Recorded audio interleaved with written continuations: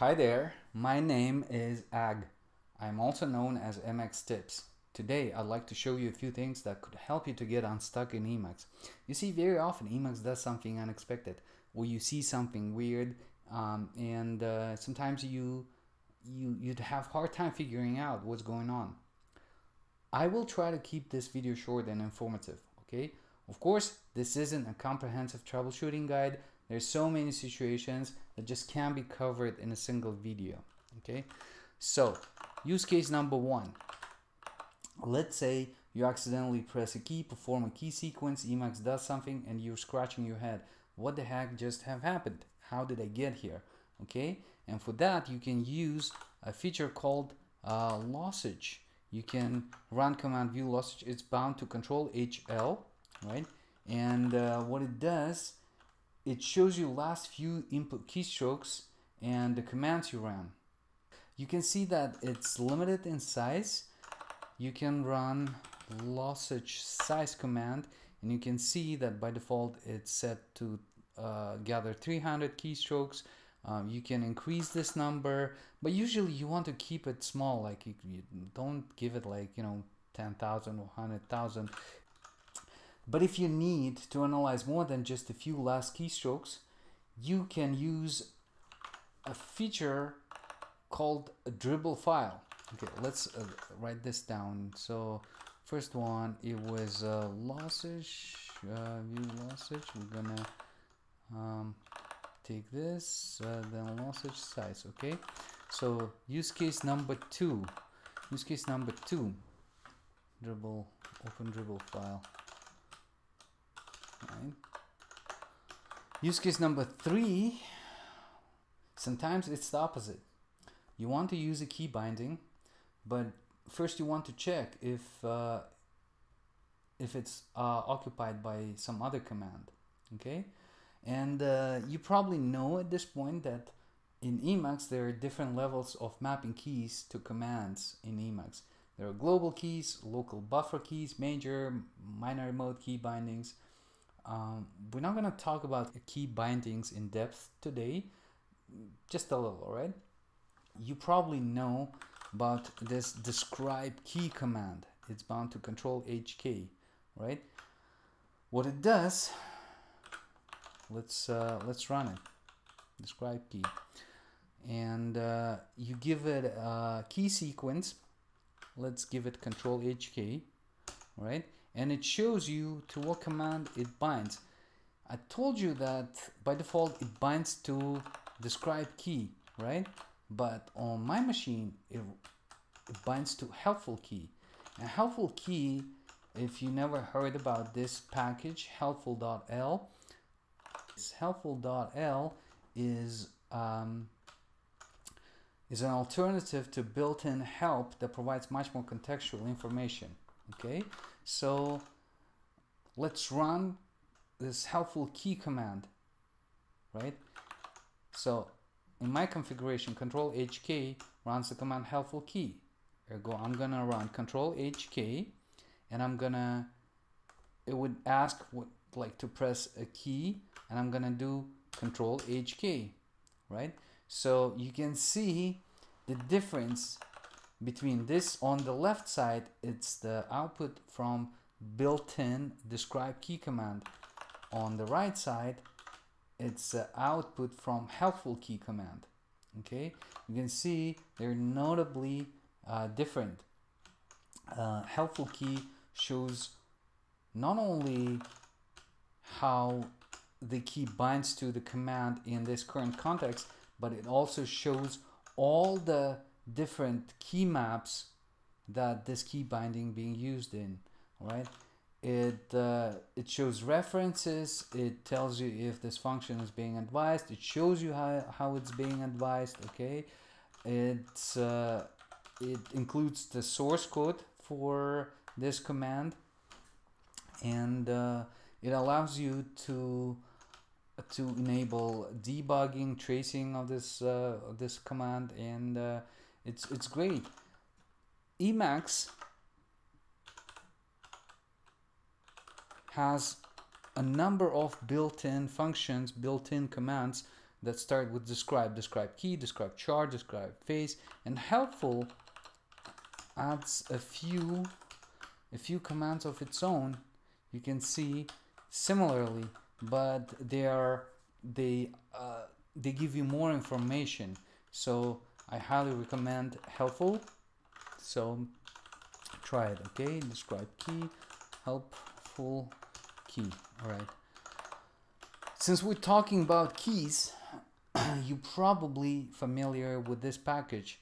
So you can see when I press space, it shows this um, head-up display and this is coming from a package called the WhichKey and uh, WhichKey a lot of people familiar with this package. It's very useful. It comes bundled in Spacemacs it comes bundled in Doom Emacs but not a lot of people realize that it has a very useful feature a command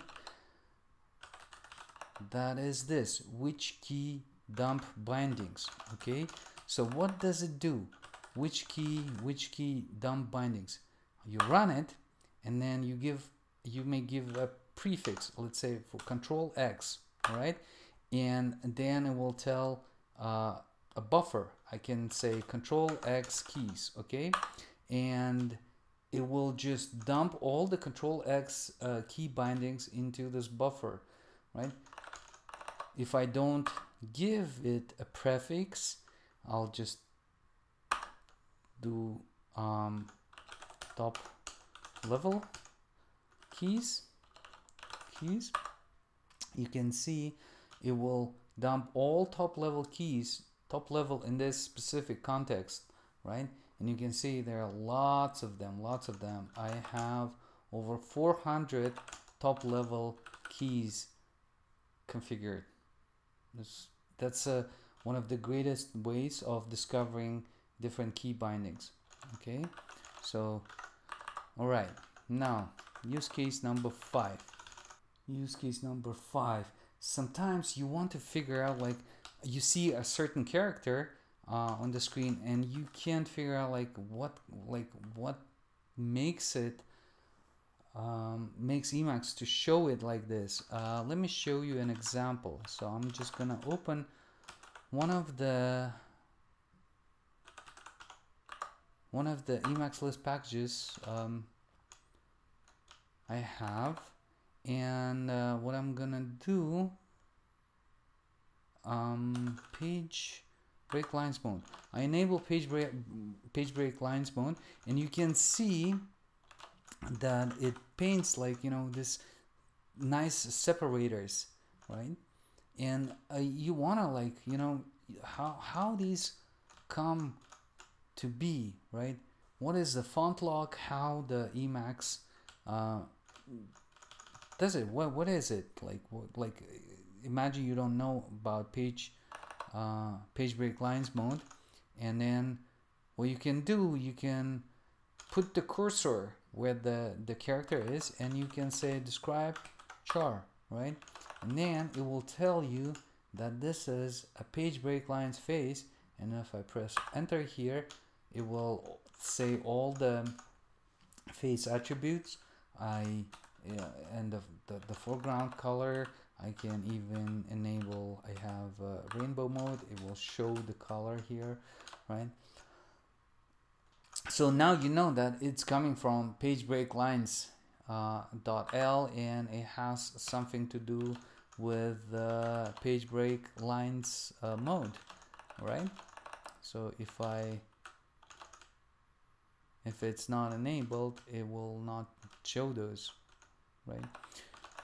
So that's uh, case number five uh, describe describe. Char. Describe char right? All right. Okay use case number six. Let me write um, a silly, very silly piece of Emacs Lisp. So if I eval this, you see what what happens? This is a forever loop, okay? if I eval this, it hangs the hangs my instance of Emacs, right? It, it's not gonna respond to any keys. I can't do anything. I can keep pressing escape. I can press even control G. It's not responding. It's uh, it's just stuck, right? A lot of times people will just like decide to kill Emacs and restart over. But most of the time you don't have to do this. So what I'm gonna do, I'm gonna switch to my external program, external terminal outside of Emacs, okay? And run this command, p process kill with the signal uh, user2 to Emacs, all right? And you can see something happened. Emacs broke out of the loop. So what happens, user kill, user two kill signal will interrupt whatever Emacs is doing and drop drop it into a debugger. Okay? And that's that's great. But how does this work? How does this work? Uh, let's see. If I go to eLisp uh, manual, built-in manual in Emacs, right? And then I'll do info search here, all right? And search for SIG user 2, SIG user 2. Um, it will say, okay, there's a user option, debug on event. And it says if debug on event set to a special event, Emacs will try to enter the debugger as soon as it receives the event. So let's see what's the value of this debug on event thing. And sure, by default, it's set to SIG user 2. That's how when Emacs receives the special, the special event, um, it drops into a debugger. I will cover debugger probably in um, depth uh, in some other video because uh, Emacs has extremely good capabilities of debugging, tracing things. It's just it's just amazing. But um, it's just gonna be too much if I uh, try to do it here. All right. Um, let's uh, let's copy this here. All right. So the case use case number seven. Now sometimes things are slow, right? Things are slow and you can't figure out like why are they slow. All right, let me try to show you. I'm just gonna add hook to this uh, pre-built hook called pre-command hook, okay? I'm just gonna add pre-command hook and uh, what I'm gonna do um, is I'm gonna I'm gonna write a function function that just does nothing but sleeps for um, let's say this amount okay? And then here I'm gonna say add hook to foo okay let's let's not call it foo let's call it pre command age. Pre command sleep age. Okay.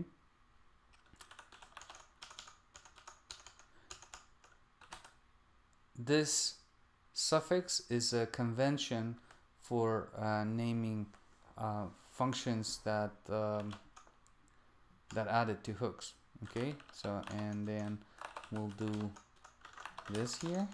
And if I eval this you can see things are slow things notably slower right? I don't know if you can feel it but I definitely can. So how do I figure this out? Like how do I figure out like what? Slowing down. So Emacs has a built-in profiler okay? You can run profiler start and then you can choose either CPU or uh, memory right? But since I'm using Doom Doom has uh, its own helper function called toggle profiler okay?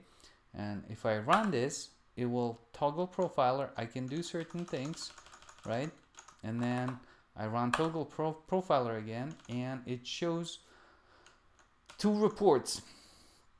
One report first of all uh, let's go back and uh, let's remove this hook because it's uh, slowing down things considerably for me. So now you can see two reports here okay? One is a profiler report for CPU and another memory profiler report right? Let's uh, see the CPU one. Uh, you can uh, if you press enter it will it will then oops. If you press enter it will then expand this section. But if you want to expand all of them you can do control U enter and it will expand everything. You can uh, also if you press D I believe it should show the documentation for the command okay? So now you can see the documentation and if you press J it should jump into the the code that it's uh, associated with this command okay? So now you can see it's running 42 47 uh, percent uh, some other things blah blah blah let me see. I don't even see my um, sleep thing. Sleep. Oh, oh okay. Here it is. Here it is down there. But it's interestingly it doesn't say that it's uh, having a lot of impact but it's definitely here. Oh here's the bigger impact. 10% 10% um, impact right so you can use this profiler to figure out like what making certain things slow right and you can tweak uh, the settings you can like you know remove certain hooks. Yeah profiler is great uh, use it. And um, right profiler start and uh, another one is this one right?